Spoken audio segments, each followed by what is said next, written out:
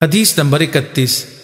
हज़रत इबन अब्बास रदी अल्लाह तु से मरवी है कि रसूल अकरम वसल्लम ने हज़रत मुआज रदी अल्लाह तु को यमन की तरफ़ भेजा तो फरमाया कि तुम एक ऐसी कौम के पास जा रहे हो जो अहले किताब हैं।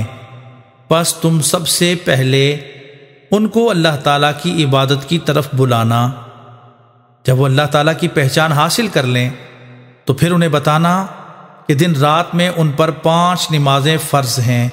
जब वो ऐसा कर लें तो उनको ख़बर देना कि अल्लाह ताला ने उन पर ज़क़़त फ़र्ज़ की है, जो उनके मालों में से, यानी मालदारों के मालों में से लेकर उनके फ़ुकरा की तरफ़ लुटाई जाए।